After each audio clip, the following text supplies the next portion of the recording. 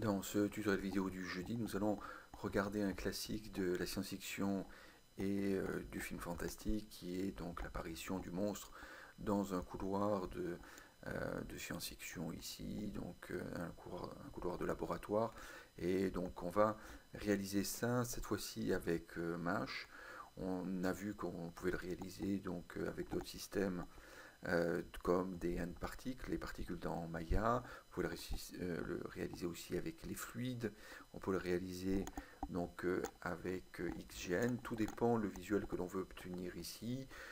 si on veut un, visuel justement très flou et, nuageux, on utilisera plutôt les fluides ou les n-particles.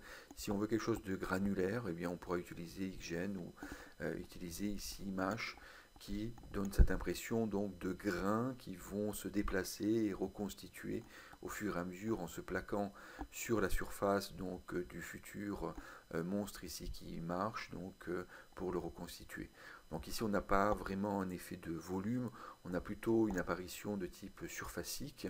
Ça veut dire que les particules, on le sent bien, vont venir se coller donc les éléments, plutôt plus les instances que des, plus que des particules, vont venir se coller sur la surface donc, qui va constituer ensuite donc, euh, le monstre. bien entendu, on va transiter donc, euh, avec le visuel du monstre de telle manière de le faire apparaître à la fin ici. Donc on va regarder donc, un exemple ici simple pour mettre en place donc, ce système-là avec MASH dans Maya 2018. Donc voilà la scène ici euh, complète où on va donc euh, avoir le monstre qui se euh, fabrique donc au fur et à mesure avec donc le système d'instances de, de et puis à la fin donc le monstre est complètement reconstitué et on a donc le mesh qui est venu remplacer donc l'ensemble des différentes instances qui sont collées sur la surface. Donc on a même dans Mage plusieurs solutions pour réaliser ça. On va prendre donc un exemple simple ici euh, pour le rendre interactif dans ce tutoriel. Donc euh, ici, New. Et on va venir donc euh, pouvoir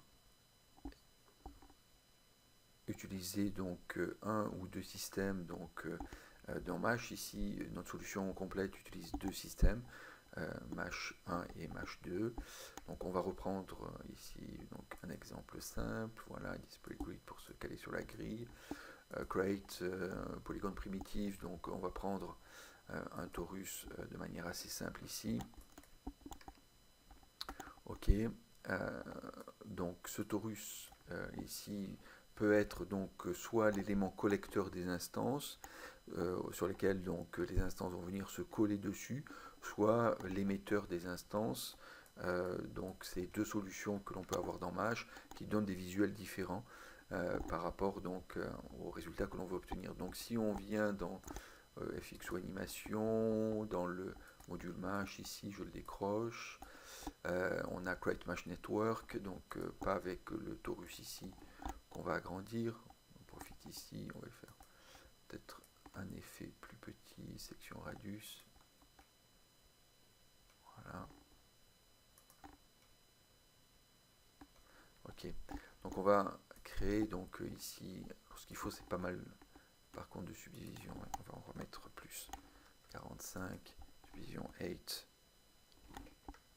voilà, on a un torus assez bien défini ici, et on va venir donc euh, select, euh, create, pardon, polygone primitive, euh, un petit élément donc de type line par exemple, ok, qui sera petit par rapport à la dimension donc de de l'élément sur lequel on veut le coller, bien entendu.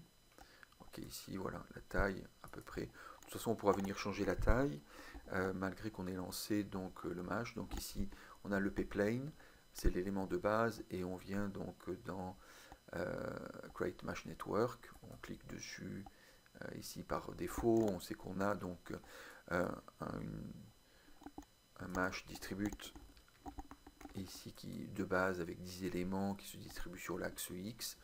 Donc on va changer ça en venant donc distribuer ça sur le mesh ici. Ok, et on va venir donc, on peut utiliser le mesh editor ici, mesh editor, voilà, ici, à côté de l'outliner. Et on va pouvoir donc faire un input mesh ici, en venant prendre le torus, drag and drop bouton du milieu de la souris sur input mesh ici. Et donc on va cacher sur un display layer, create layer from selected, euh, ici, et on a donc euh, nos différents éléments qui sont plaqués donc sur, sur le, torus ici.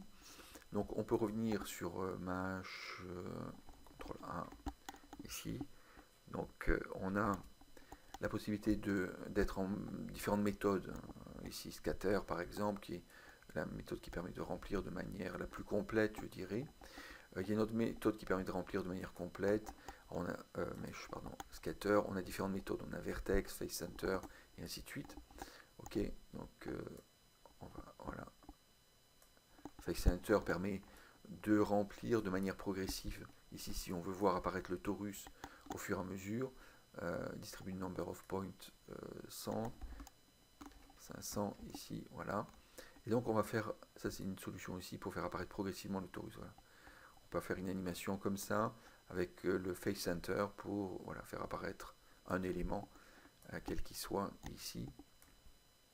Je suis à 1000. 2000 ici, voilà. Ok.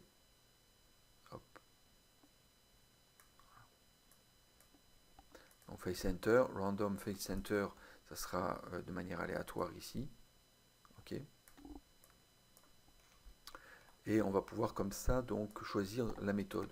Donc il y a une méthode euh, avec face center ou random face center euh, qui consiste à faire un flow de mesh qui permet de le remplir complètement et de savoir combien on va utiliser donc euh, de, de mèche. On, il suffit d'en utiliser 1575 pour remplir donc euh, le torus ici.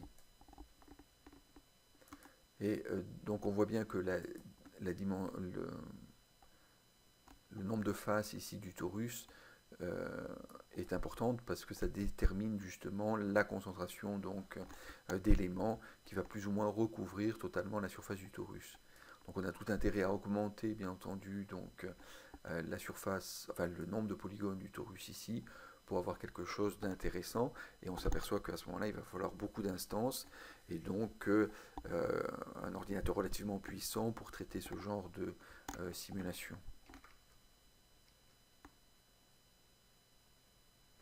Donc là on redéfinit telle manière d'avoir des formes aussi un peu plus carrées sur le voilà ici. Donc on a une concentration plus intéressante qui commence à apparaître ici.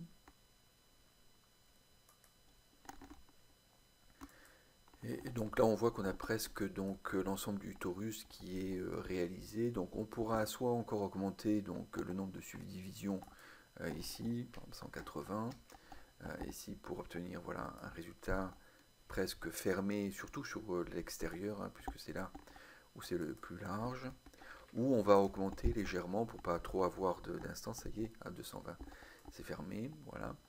Et euh, on va augmenter aussi, c'est possible, la taille donc de notre élément pplane qui est caché ici. Il suffira de, on a un scale à 0,135, il suffira de l'augmenter un peu pour venir couvrir aussi la zone, mais on aura moins de précision donc dans la forme qui va être définie par les instances de mesh. Ok.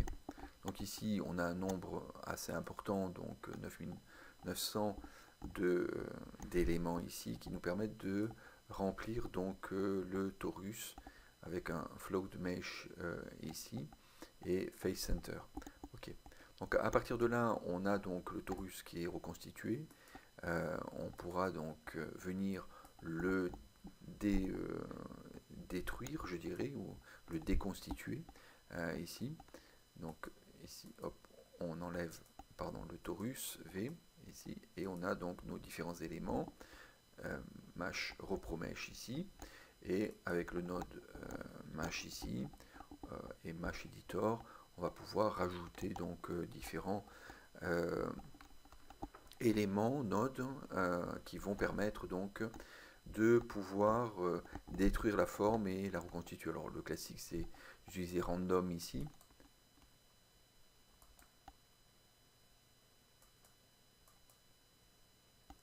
va permettre donc bien entendu d'éclater donc la forme en mettant des valeurs ici importantes dans la position voilà pour obtenir donc ici quelque chose de totalement éclaté donc ça, ça nous permettra de faire une apparition un peu concentrique. Ça veut dire qu'on va avoir donc des particules, euh, des instances qui vont être donc distribuées euh, sur l'ensemble donc du volume euh, ici autour de la forme qui va se reconstituer. Et puis on va réussir donc à la reconstituer en venant donc repositionner les ou rediminuer donc la force bien entendu du random euh, ici, avec euh, donc euh, la force ici qui est définie par le stress, et on va venir donc rediminuer cette force-là, et en la mettant à zéro, on est censé retrouver ici donc le torus. Donc ça c'est une façon simple de le faire avec MASH, et qui nous permet donc très rapidement d'obtenir un bon résultat. Donc on va pouvoir s'aider de différentes façons pour venir euh, modifier le côté un peu linéaire du fait qu'on va donc euh, descendre par exemple la force ici. Donc on a le random strange euh, déjà qui est ici plus intéressant comme paramètre. On a le strength map ici qui est aussi très intéressant dans le sens où on va s'aider d'un map helper par exemple. Donc on fait bouton dans la souris create ici. On a donc une map qui apparaît ici. On va pouvoir peindre un peu donc rapidement. Ok, voilà.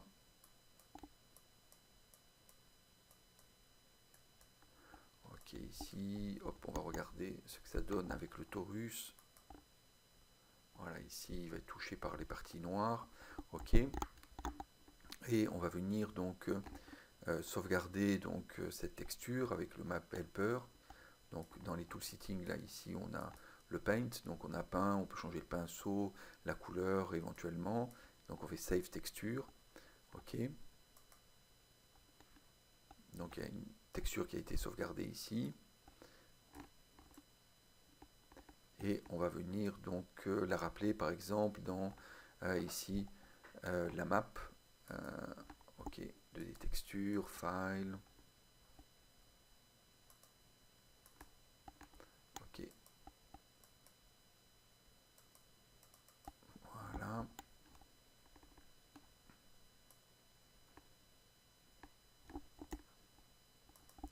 on revient sur Mash ici, on remet donc euh, la force au maximum, et ce que l'on voit maintenant, on va cacher donc euh, le helper.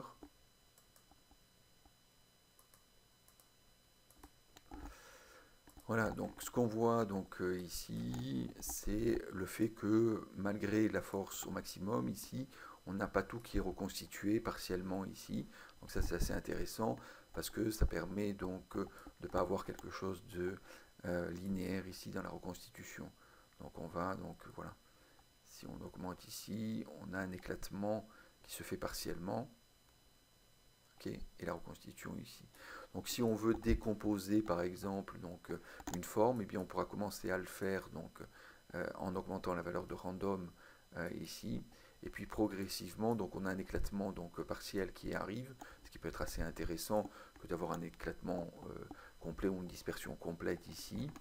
Et puis on va jouer ensuite donc sur le, la map ici, soit en la combinant avec une autre map, soit en jouant sur euh, les corrections colorimétriques que l'on a donc euh, sur le file texture, euh, en le paramétrant, le keyframant bien entendu. Donc ici on va jouer sur le, paramètre donc de force, de force aléatoire random strange ici, et en même temps on va jouer donc sur le paramètre donc par exemple de color offset ici qui va permettre donc de rendre plus clair donc l'ensemble de la map et donc de disperser à ce moment-là l'ensemble des dernières instances qui étaient restées donc constituant le torus grâce donc au coup de pinceau noir que l'on a donné ici. Donc ça c'est une méthode très intéressante qui nous permet donc de partiellement, au moins au départ dans la simulation, euh, en keyframant, donc euh, d'éclater, et puis après d'avoir totalement, bien sûr, donc euh, le côté éclaté donc du, du torus, et en même temps, on reviendra, CTRL A, on reviendra sur le random ici, et on le mettra donc à fond aussi, en même temps, ce qui fait que on aura donc ici, on retrouvera notre projection de, avec la fonction random complète, euh, complètement donc euh, dispersée dans l'espace 3D que l'on a défini donc avec les valeurs ici, donc position x, y et z. On n'a pas joué sur la rotation, on aurait pu jouer bien sûr, ce qui rajoute donc un effet supplémentaire donc de, mouvement, éventuellement sur le scale aussi, on peut jouer sur le, la forme sur le scale pour brouiller complètement donc voilà. et ensuite on va retourner, hop voilà. On a donc un éclatement partiel avec des formes qui changent tant en termes de rotation ici. Donc il faut revenir sur le file, euh, ici color offset, pour avoir voilà, partiellement random. Donc on a donc ici rotation, scale et déplacement, translate euh, aléatoire qui va commencer à décomposer la forme au fur et à mesure. Voilà une des méthodes qui est intéressante ici à utiliser avec un seul système donc, euh, de, euh, de Mesh Network. On verra la prochaine fois comment on peut utiliser donc deux systèmes qui vont euh, s'appeler mutuellement de telle manière de pouvoir obtenir plus un visuel de, par rapport à une cinématique de déplacement qui va suivre donc une forme et qui va l'attraper comme on a donc dans notre visuel. Ici, donc, euh, on a les particules qui partent, enfin les instances qui partent d'une zone et qui rejoignent donc la forme donc, de, euh, du monstre ici qui apparaît au fur et à mesure. Donc on a une cinématique un peu différente que celle qu'on a mis en place pour le Taurus et on verra comment on réalise cela.